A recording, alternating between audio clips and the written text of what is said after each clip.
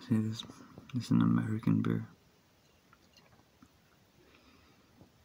Irish craft. We let our best go. They came back then from like Chicago then with like, you know, like don't you know how to make beer in your own country?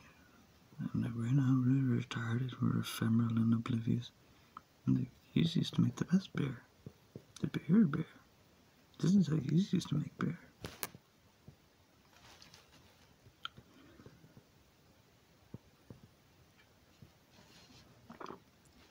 I wrote the funniest joke ever. I like the funniest joke ever, but I. In my little music, it was the funniest joke. I don't remember what it was.